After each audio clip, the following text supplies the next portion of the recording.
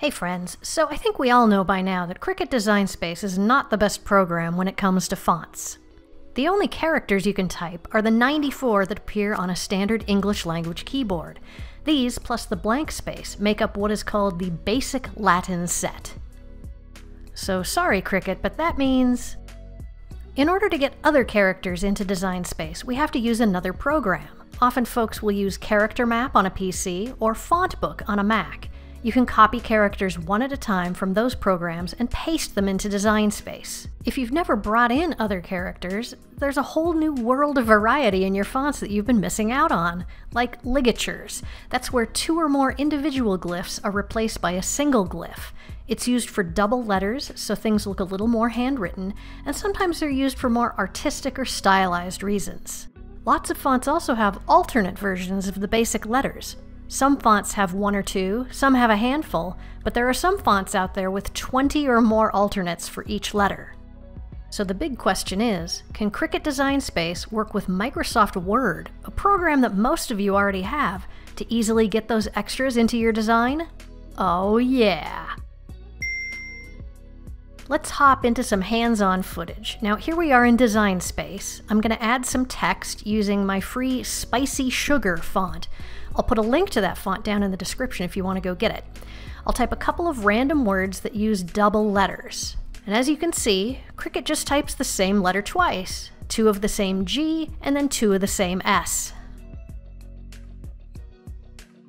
But hopping over to Word, those same two words look a lot more handwritten. It's because Word has replaced the two single G's with a double G ligature. Same with the two S's, there's now a ligature in their place. Your Word may not do that automatic replacement right out of the box. It's turned off by default. So if you don't have it turned on, just go to the Font section of the Home menu, click on the Advanced tab, and about halfway down you'll see Ligatures. There's lots of options here, I just leave it on All.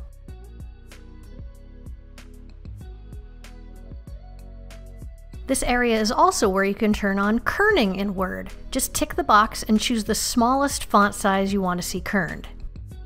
Now, since Word is showing those ligatures, you might wonder, can we just copy and paste over into Design Space? Not quite.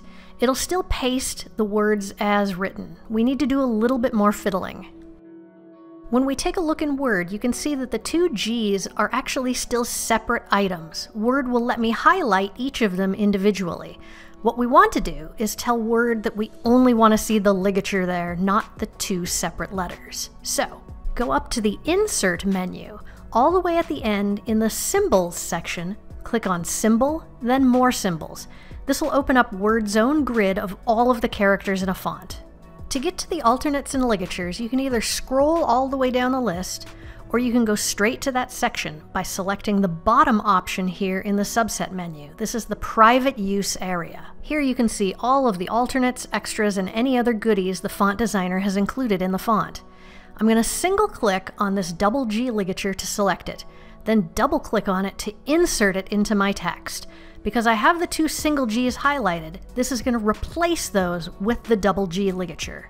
And now, when I try to select just one G, I can't. Word has inserted the double G as a single character, so that's all I can select. We'll do the same thing with the double S. Select them, go to Symbols, then More Symbols, go down to the Private Use area, select that double S ligature, double click on it to insert it into the text. And now our text is ready to move over into Cricut Design Space. Select this all and copy it using Control-C on a PC or Command-C on a Mac. In the text box in Cricut Design Space, you can now paste using Control-V on a PC or Command-V on a Mac. And there they are. In the text input box, you're going to see these squares where any special characters are. Tighten up your spacing and you're ready to go. So that brought two special characters into Design Space at once. Let's do a lot more. I'll start with the name Megan, mainly because I know this font has alternates for all of the letters in the name Megan. We get the base versions of each letter in Cricut Design Space. Over in Word, we could type out the same base letters, but we don't need to. Let's do all alternates. Once again, go to the Insert menu, Symbols section, pick Symbol and More Symbols, down to the Private Use area. I'm just going to keep this window open and start double clicking on all of my options for the name Megan until I get every version of every letter.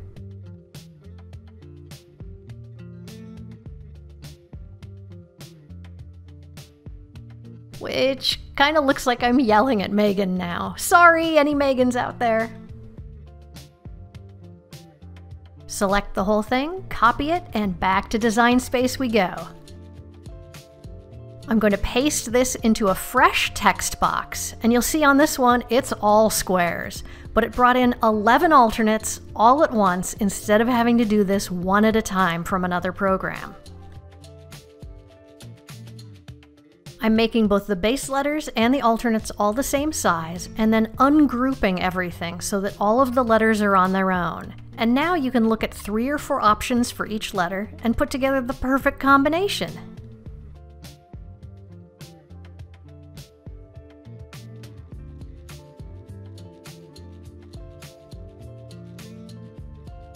Align your finished text, clear away the extras by either hiding those layers or deleting them completely, and you're good to go.